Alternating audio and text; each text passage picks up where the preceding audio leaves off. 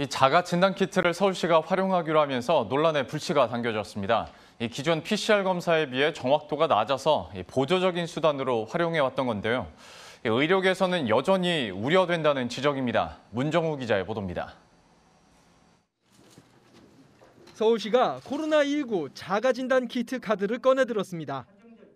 자가진단 키트를 활용해 지역 경제와 방역을 모두 잡겠다는 구상에서입니다.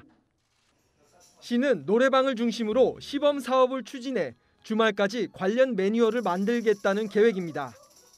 민생과 방역을 모두 지키는 상생 방역으로 패러다임을 바꾸어 나가겠습니다. 정부는 자가진단 키트 도입 속도를 높이기 위한 방안을 검토합니다.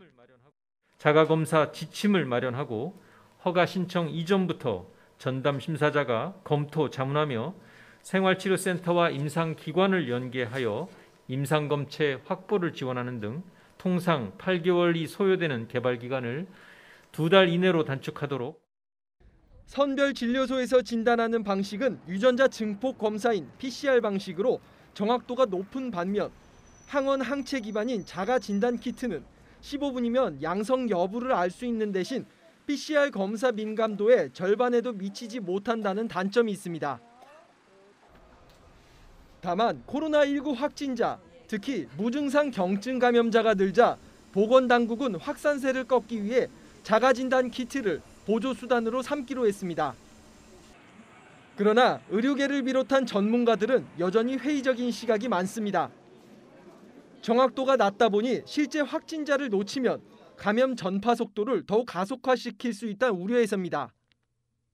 그 유증상 환자에서는 그래도 조금 검사가 잘 나오는데 지금 주로 사용할 대상이 무증상 감염자를 찾는 용도로 쓰잖아요. 근데 이게 무증상이면 더 민감도가 떨어져서 서울시 계획에 대해서도 의문을 나타냈습니다.